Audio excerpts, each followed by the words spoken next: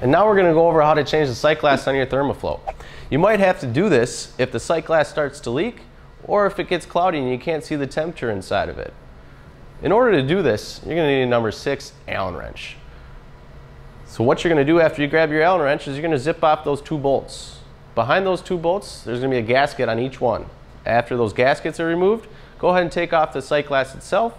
Then there will be two more gaskets that are actually up against the tank. After you grab your new one, which is a part number 300 334, you're gonna put them right back in that same order. The two gaskets, the sight glass itself, the other two gaskets, and then the bolts. Now this is where it gets really important. You're gonna wanna to tighten those bolts with a torque wrench to 96 inch pounds, which equates to eight foot pounds. And this is what's gonna cause that optimal seal to prevent leakage.